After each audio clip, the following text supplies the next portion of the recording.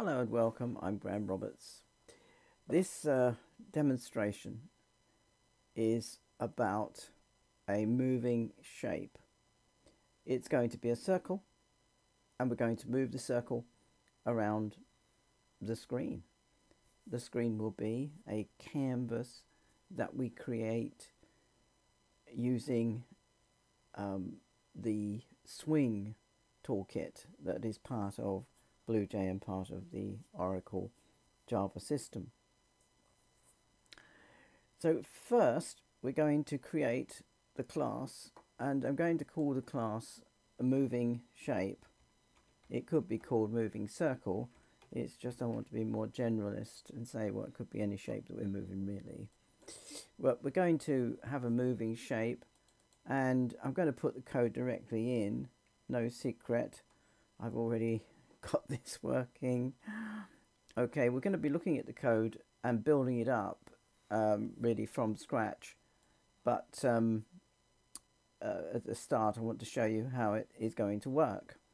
So first, there's the code. And in BlueJ, one can, as you will probably know, check out the documentation, the Java doc. Uh, and here we can see the hierarchy of moving shape is that it is inheriting jpanel from the swing library, which is in itself inheriting from jcomponent from the swing library, and the Windows Toolkit container and the Windows Toolkit component.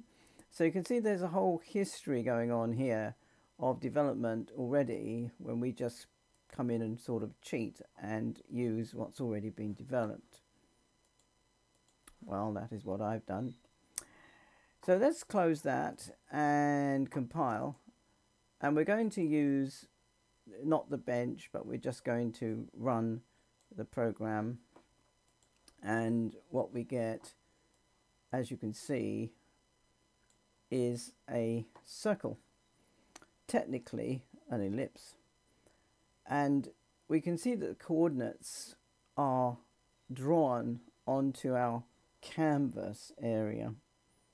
Now this canvas area is actually 500 pixels wide and 300 pixels tall as it were and the height does not start from the bottom left hand corner as you might expect from an ordinary manually drawn graph where you have 0, 0 down here in the bottom left hand corner and as the x value grows so might the y value grow such that you get a straight line uh, y equals mx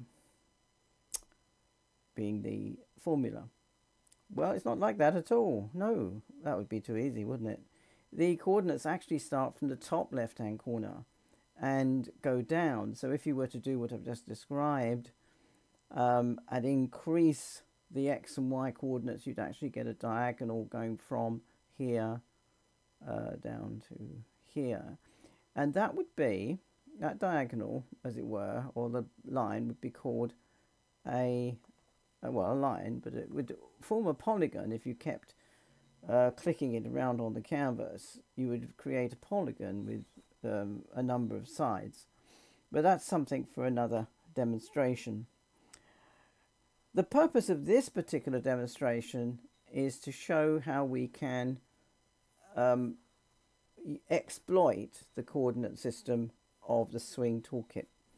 And this is what we're going to do. So if I press my, you can't see me doing this, but I am actually pressing the arrow keys on my keyboard. I'm running, of course, Windows, BlueJ on Windows and what I get is it moves to the right or I press the left arrow key and it moves to the left.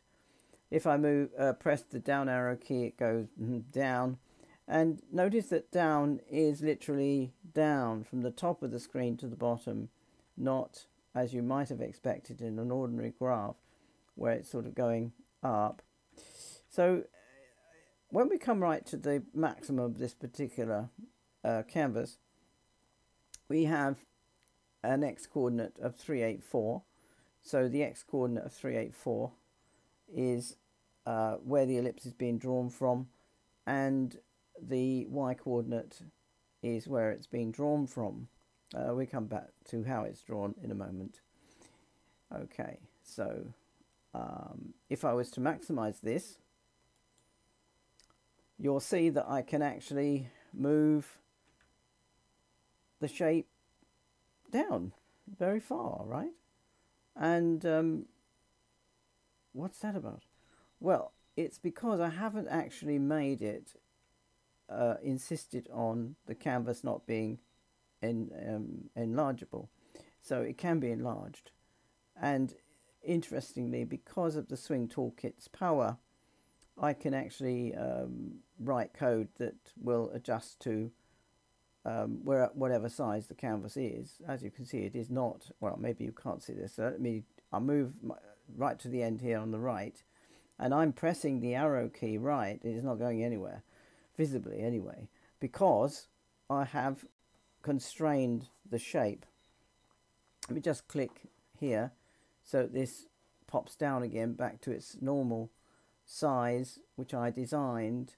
We can see the coordinates though are still the x coordinate is 1820 pixel and the y coordinate is 347 and it's off the screen yes.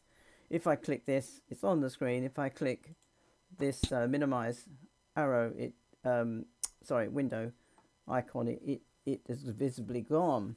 However I have a secret power. If I press my space bar on my keyboard it pops back into the center uh, we'll see how that is accomplished in a moment. It's actually very simple because the toolkit is so powerful. Okay so um, if I go back into maximize and I press the spacebar it goes to the middle. Good game eh? So I can get that back again. What I'm showing is that we can control the shape draw it where we want even animate the shape using input from the keyboard so how do we do that right well let's look at the code uh, briefly uh, because then we want to look at the code more deeply as we make it happen, as it were. But I just want to show you an uh, overview of this. The toolkit, uh, Swing and Windows toolkits are imported here.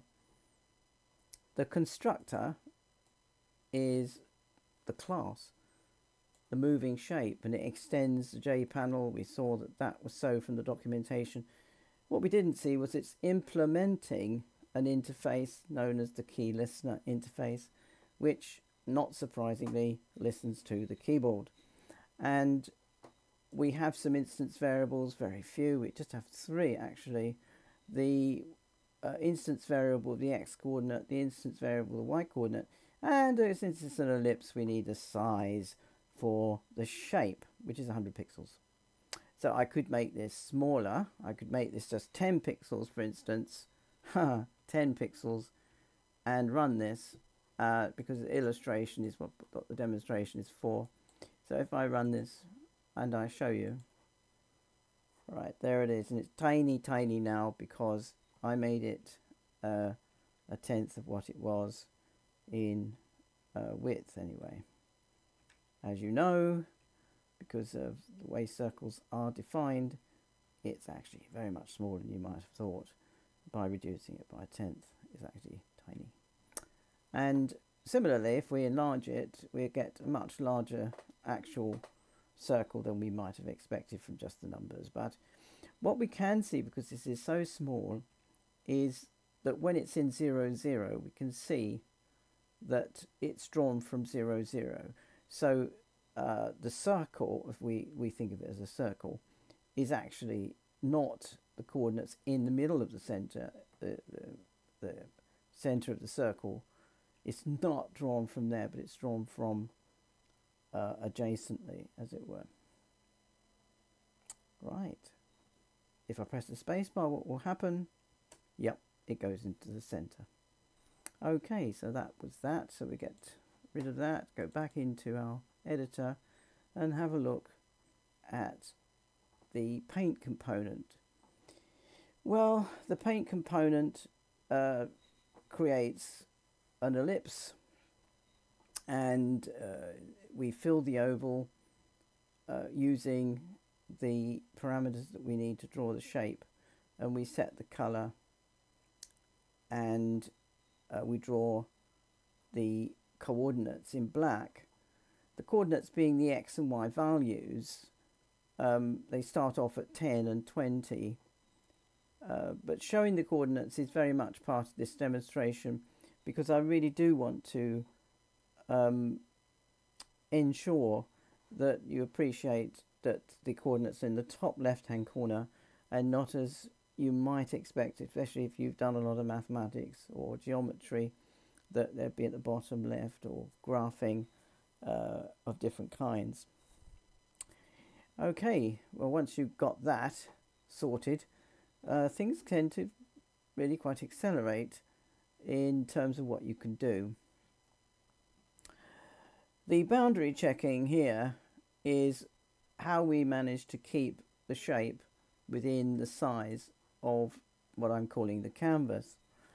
Um, basically the current screen or window that we're using. And this is done using the power of the toolkit, which literally knows the width of the window. Since it draws it, it would, wouldn't it? Well, the getter for the width is mm -hmm, get width. And so we can actually find the width. And then if we take away the size of the shape, the current size of the shape, we can say that's where we want x to be. And then we ensure that the circle is not drawn off screen, it's drawn within the boundary of the screen on the right hand side. And um, we do that on the left hand side by saying if x is negative, we make it 0. The y coordinate is similarly treated. As you see, that's really just the same, starting from the top left hand corner. And we make sure that the circle does not go beyond the bottom of the screen, the height of the screen. And we do exactly the same actually, it's the same rubric. We look at the size, we take the size from the height, and then we say y must not exceed that value. And then it is drawn indeed inside. Let's see that happening. Uh, we go again, and I'll pull it into the center. Right, so I go to the right and it can't exceed. Now I'm pressing the right arrow key and it's no joy. It's not going. I press the up arrow key and there's no joy. It won't go beyond zero for the y coordinate, and down it won't go beyond the effective limit of the shape, which is of course the height of the window, but less the actual size of my shape. And that's why we're using a circle, because it's actually sim simpler to draw it that way. Okay, so um, that's it in the center. Um, we said we could enlarge the screen. Can we actually make the screen smaller? Well, I've made it really quite small now. Uh, one of the benefits of having a very small shape may be that if I do that and I click, uh, sorry, press the space bar, yes, it's put it into the center of the screen. And what if I press the right arrow key? It goes up into its limit, down to its limit, up into its limit on x and y as before. So that's quite a powerful but simple algorithm that we've coded in there to make sure it keeps on our canvas. And you can see the coordinates are still being drawn in black whereas the shape is yellow so let's have a look at the code again and so we've looked uh, just really just looking down in the code for the moment. We can see that we're looking at the key typed um, event handler. Well we don't use that. And the key released event and we don't use that.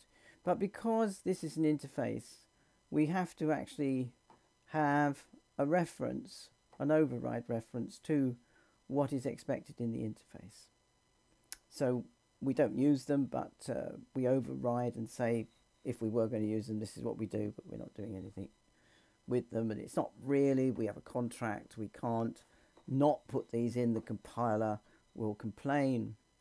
Uh, what am I talking about? It's this key listener in, uh, interface that's being implemented in Java. Right, so we, we have the power of that, but we also have to comply with the contract that it sets up for us that we acknowledge that uh, these have to be addressed in that interface. Uh, to get the center circle effect is very straightforward. We just find the current value of y and x and we, well, divide by 2. And, well, we take account of the size, so we do actually get the uh, middle and not the offset. So, um, remember, these were two of the three instance variables that we had right at the start. So that's why it was so flexible and yet very simple code. What makes it all work is, of course, the instantiation in the main method. And here we have um, a JFrame class is called frame and we instantiate it using the new keyword and the JFrame constructor and the title is given of moving shape. And now this is quite important. The moving shape class that we actually did make ourselves at the start of this video is declared here and then we just call it panel. We could have called it something else. We could have called it canvas. Is assigned using a new keyword and the constructor is executed. Well we know what's in the constructor because in the constructor we have the uh, add key listener. So we actually put a listener onto this particular class, this particular object when it's instantiated gets a little listener. Why do we do that? Well, let's emphasize this line here. Set focus a bold true. We have to focus on that canvas, that panel. It's very important. Otherwise, when we are pressing the space key or pressing the arrow keys, it won't know what we want to address. Well, we're very clear about this. We say that we want to pick up the keys when they are addressing that particular panel. Okay, so that was that. And after that, we readdress the frame object and make sure we put the panel, that's this part, the canvas, into the frame. Then we set the size to be 500 pixels wide and 300 pixels high. But this is, as you saw, completely flexible. It's just how it starts off. And then we set the default close operations, exit on close, and you saw when I clicked the um, arrow on the window, I could actually close the whole program and dismiss the window. This is quite important. We need to set visible true, otherwise we have the object, we just can't see it. Uh, this fools quite a few people. Right, let's um, let's um, just comment that out and close this, compile, and then run this. Now I'm I'm going to be running it, and I'm looking uh, everywhere for it, but I can't see it. It's invisible. Oh dear. Whereas if I come back in to the text and take out that comment, so it is itself visible code to the compiler, when I run it this time, we should find that it appears. Right, so there it is. Okay, so now we're going to uh, really start again in a second phase of this to build up from scratch this um, particular demonstration. If you are already familiar with the code or you've looked at it, so I will make it available, then that second part you may not need. And uh, so you can close the video at this point. I hope it's been useful. Otherwise, if you're staying with us, uh, we will have a slight pause and come back. Okay, I've set up my class, moving shape. I've set my constructor up and I've set up a main method and I put into the main method an instantiation of the moving shape. Now I called it panel earlier, I'm going to just call it canvas just for the sake of a difference uh, here. So um, when we inst instantiate the canvas we should see something. Um, okay so this is what we've got at the moment. I'm going to run this and um, nothing. Right, well that's what we expect, isn't it? Because there's nothing really going on. Uh, we instantiated the moving shape, but there's nothing in the object of any use to us. There's nothing to actually wow us in any way. So what we need to do first of all is to set up the panel or the canvas now, in order to do that, we need to import java.swing.asterisk, meaning everything in that library. We need to import java.awt.asterisk, everything in that Windows Toolkit library.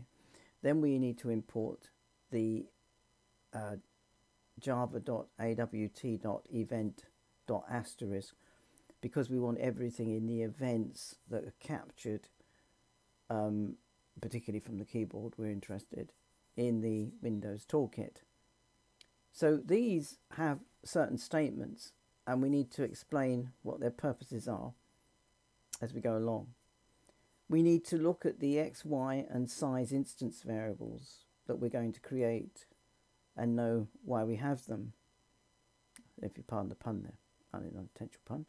And then we're going to show the moving shape constructor that we're going to add the key listener. We're going to set the focus focusable to true and uh, we're going to emphasize that those lines are crucial.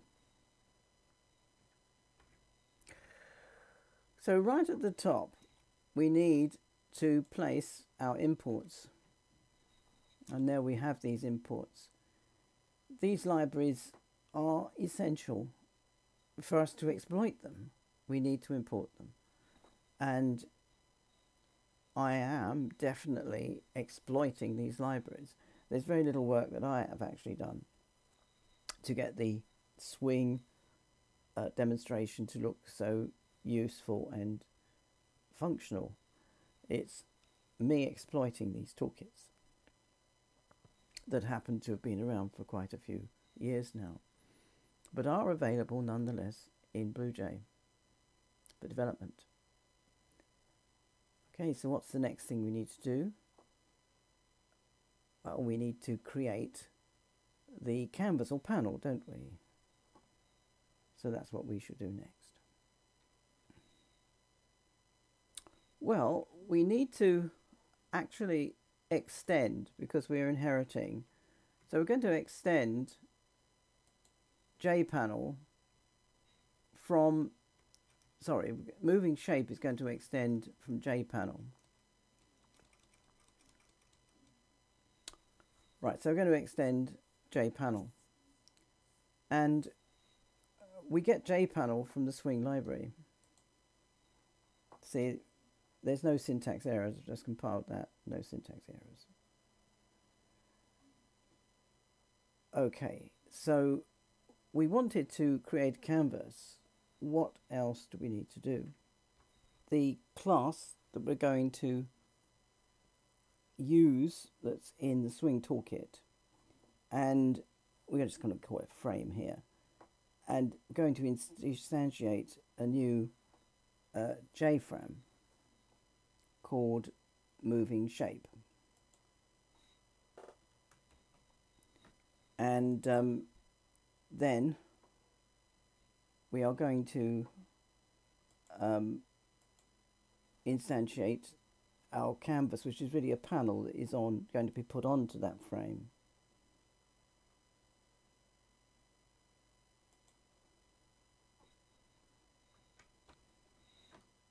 And then, of course, we need to do what we just said. Add the pane or the panel rather, and I'm going to call it canvas just for the sake of difference from the previous part, and uh, set the size and make sure the window can be shut down and make sure it can be seen. Okay, so let's compile that.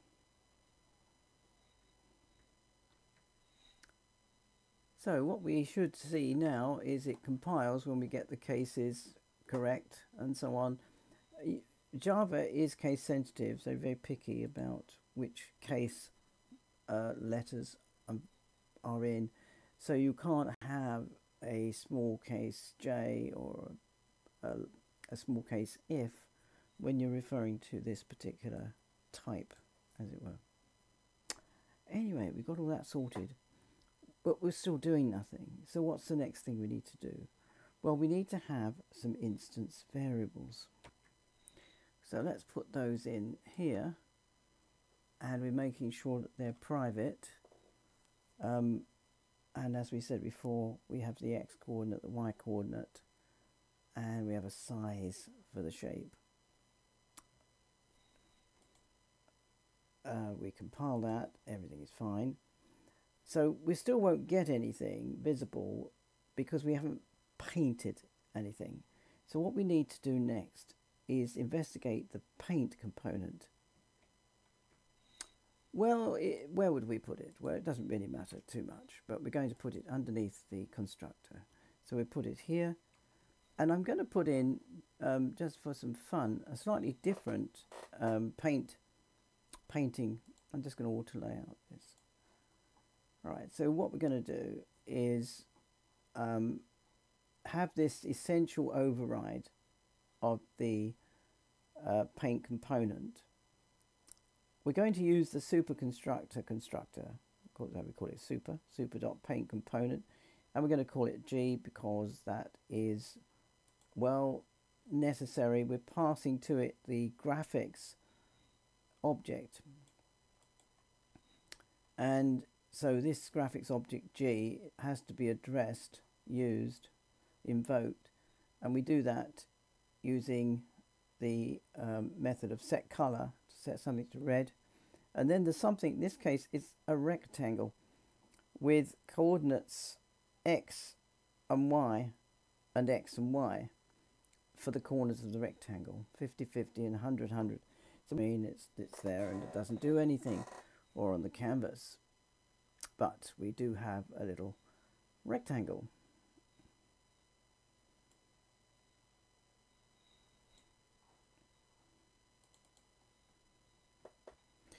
You would have recognized that we weren't actually drawing the coordinates on the screen. So that wasn't good. So what we're going to do is put in the correct code and run it and now we get the coordinates of 50 50 where we start it. And I'm still I'm pressing keys and nothing is happening because there is no um, capture of those key those key presses uh, at all yet. Um, there's no uh, exploitation of them, there's no capture of them, there's no use of them. They are being captured of course but we're just not running a program to actually exploit that at all. So let's go back and um, make sure we understand that at this point we fill an oval shape where we project from x and y coordinates and we get the size of the oval.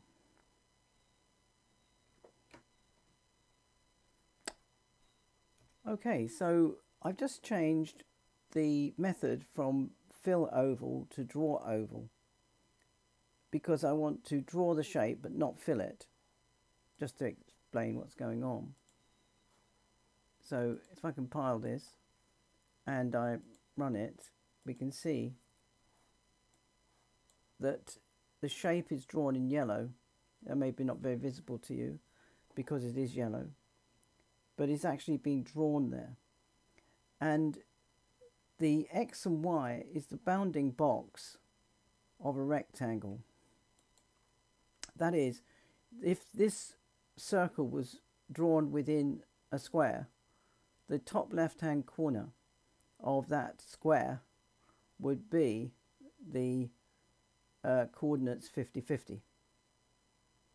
If you drew a box around this circle, be 50 50, where it's actually being computed from to draw the oval.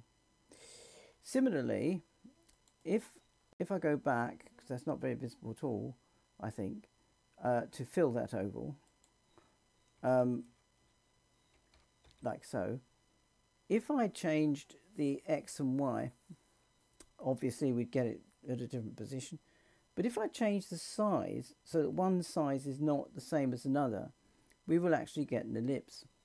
So at the moment, obviously it's a circle because the the sizes are the same. But if I put in, um, let's say 10 pic, well, I'm, I'm not sure if we see the 10 pixels actually. If we put it in at 50, we'll certainly see that. And um, and then run this again,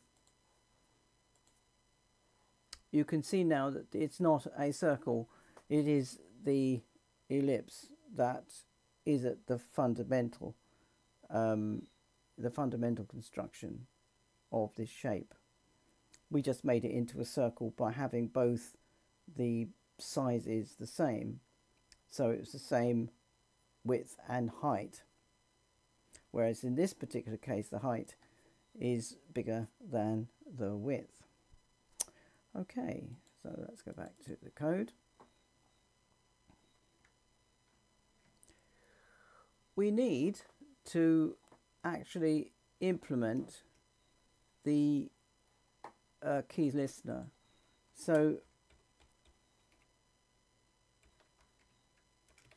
we need to implement key listener.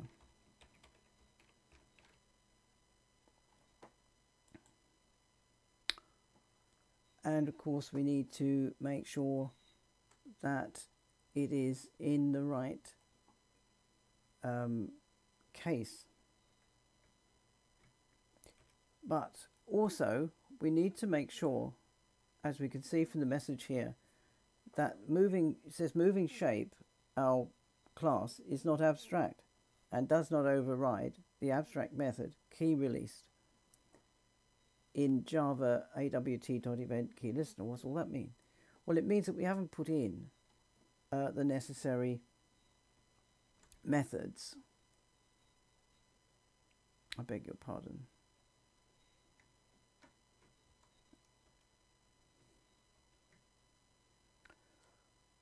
I just ought to lay out that.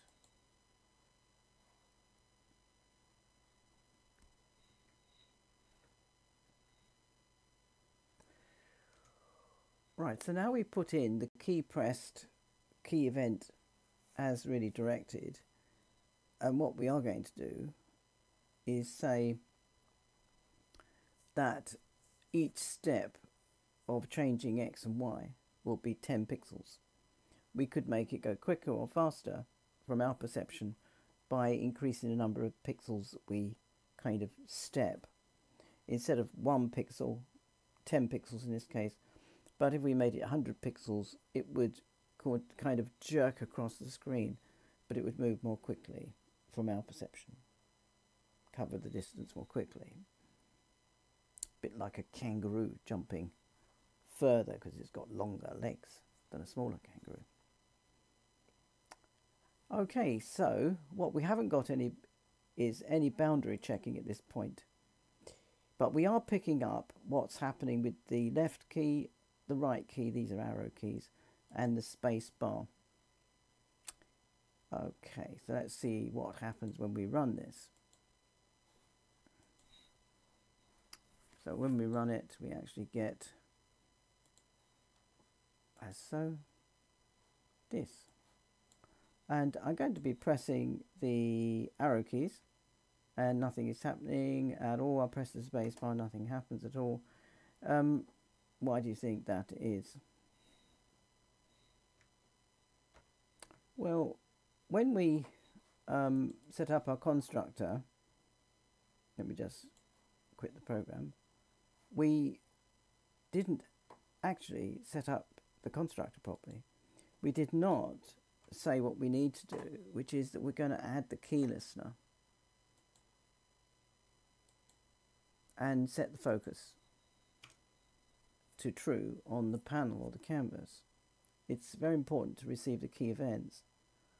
Without that, uh, nothing is going to be seen to happen.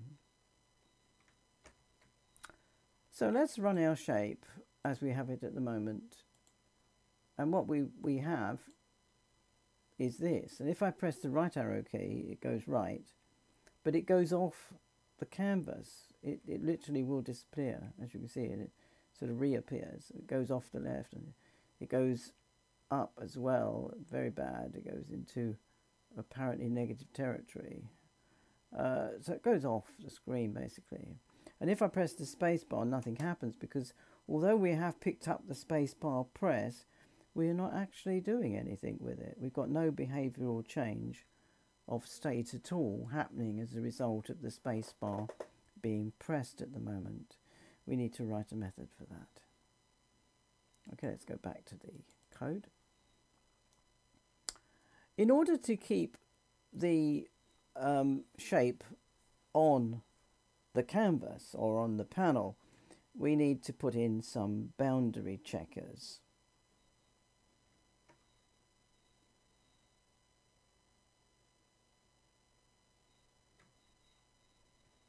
Now the place to do that is before we repaint it here.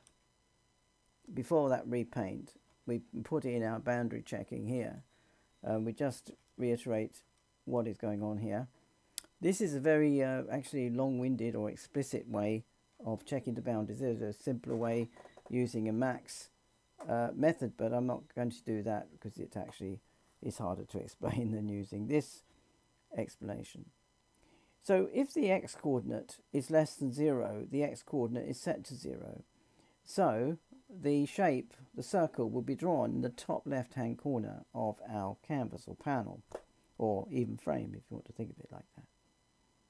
Otherwise, if x is not less than 0, we check to see it's not off the right-hand side, as it were. We, we check that it's not going to be drawn off screen on the right-hand side. So if x is more than the width less the size of the circle, then if it is, we reset x to be the uh, right hand side when the circle is drawn. That is, the x coordinate is going to be uh, the right hand side coordinate, as it were, uh, less the size of the circle. So it's offset to the left by the size of the circle. We do exactly the same uh, kind of check with the y coordinate. Remember, of course, that the y coordinate is at the top of the canvas or the panel or the frame and not at the bottom, it's at the top. So it increases from the top downwards and decreases from the bottom to the top. Um, so if y is less than 0, we set y to 0 so it doesn't disappear off the top of the panel or the canvas. Otherwise, if it's going to be uh, greater than the height, that is off the bottom, so it disappears off the bottom of the panel or the frame, we uh, reset y to be drawn just at the bottom of the frame or the panel or the canvas, um, taking into account the size of the circle. Okay, so now it won't um, disappear, we hope. Right, let's run that and see if that is true. Here's our canvas and I'm going to the right and it's stopped it. It's going to the left, stopped it. Going all the way to the bottom, stops it. Um, and at the top, of course, it won't go off the top like it did before. If I press the spacebar, nothing happens. And the reason is we haven't written that method yet. So let's go and do that. Ah, now we have to choose where we're going to do that. Uh, where would be a good point to draw it? Well, we could do it um, just before the main method. That would be okay, I think. So if we put it in there and we auto layout, we'll get rid of this little interloper mu symbol. And uh, when we now compile this, it should be okay. Uh, I won't run it just yet because actually, uh, although the spacebar will be captured by the case statement, the switch and the case, these are mutually exclusive uh, because of the break statement here. These are mutually exclusive nested if statements, basically, if then else's. Um, now, if the case the, the spacebar is picked up, um, it handles the spacebar event, but uh, we're not telling it to do anything when that happens. So we do need to be um, telling it what to do. Uh, what I mean is, uh, if we look at the key event for the down arrow, if it's a down arrow event, the y coordinate is incremented by 10 pixels. So it goes down. The drawing of the shape, the circle, will go down because the bordering invisible rectangle where the x and y coordinates start from to project the ellipse, it will go down the screen and then it breaks. But in the case of the key event space, we're not doing anything. So we need to do it in here. We need to invoke the center circle method, which we just wrote. So if we do it there, it will invoke this. And what it will do is find the x coordinate uh, and set it to the middle point of the current canvas or panel. And it does this by dividing by 2 both the x coordinate and the y coordinate. Of course, it has to take into account the size of the shape. Otherwise, the shape won't be exactly in the middle of the screen, as it were. Um, just imagine if the size was a thousand pixels, it would make a big difference to the size being 10 pixels. So you can't just take into account the width and the height. If you're drawing a shape, you have to take account of the size of the shape. Okay, so we should have it uh, so it works now. So let's have a look at that. And when we run it, we will get this. And we get the behavior we had before with the right arrow key, the left arrow key, the up arrow key. And if I press the space bar, it goes back to the center, which is rather good. Okay. Okay, what could we do to extend this? What could you do? Uh, here is by compiling it. And what we find is that there is an error caused by my intrusive mu symbol. Let's try that again. And we just run, compile and run this sorry, I've gone into the wrong thing there. Um, if I run this like so,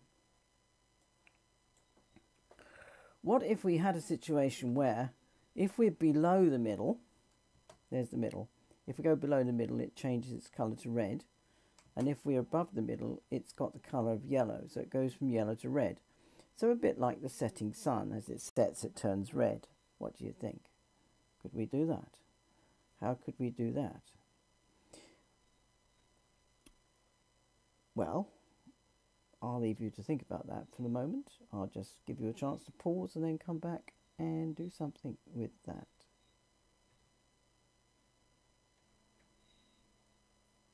Well, the key part um, we need to look at is the paint component because it's here in the paint component that the shape is painted.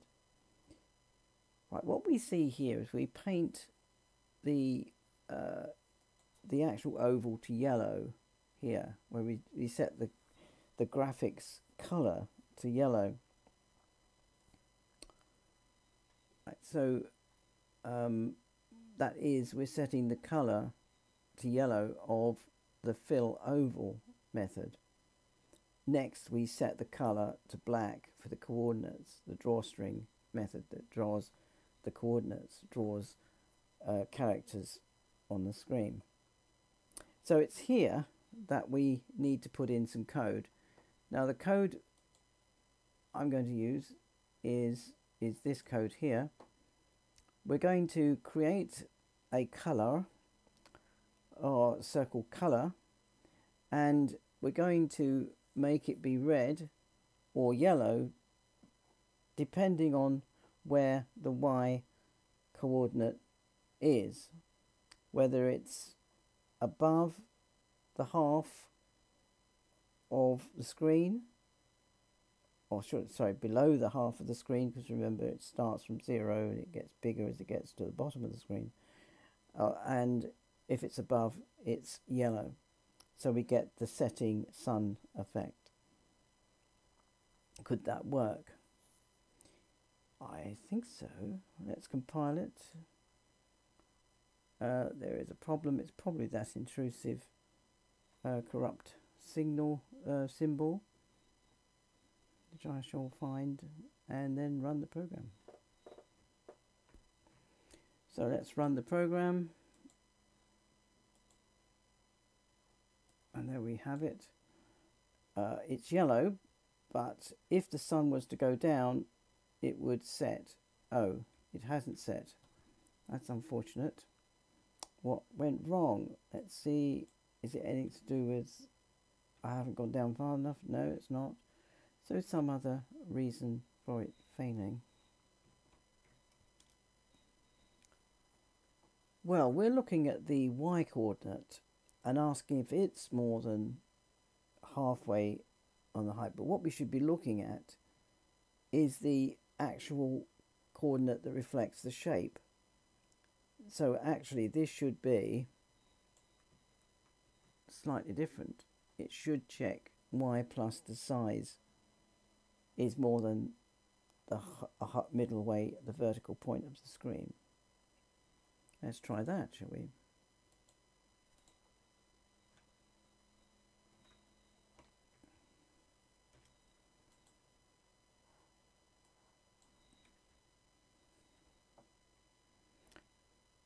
And we find that that doesn't work either. So, what do you think? What could be the reason for this? Well, the problem was in the setting of the colour. We set the colour to yellow and then we set the colour according to where the position of the shape was but we need to actually set the color of the graphics entity to circle color So um, we do set the color variable circle color here and I'm going to make it actually into the English English rather than the American English. And we must remember to put the uh, color consistent. Now in my debugging I had a printout um, to the terminal just to show me that the repaint was working in BlueJ as it's supposed to do. And it did. Okay so there we are. We have we set color there. So we're going to set the graphics color for the oval to the circle color. And that will be red in it when it's um, low below the horizon as it were and yellow when it's above. That's the idea, isn't it? So if we close this and uh, run the um, program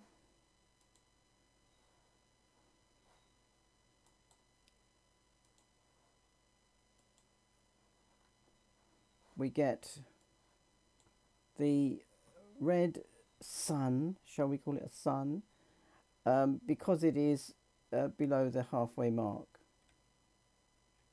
And when it goes above, it becomes yellow. Remember, this is on the y coordinate that this is being projected.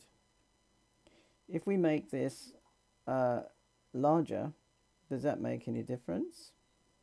Well, actually it does. We can see it. It does in fact set a red sun as it goes below the horizon. When it's a, a bigger canvas, we can see that.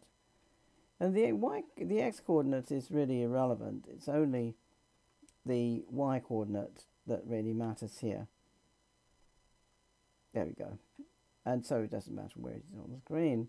If I get on this little demonstration project of how to create a shape using swing in BlueJ and move it about the screen and even having some effects on the color of the shape according to where on the screen or the panel or the frame it is.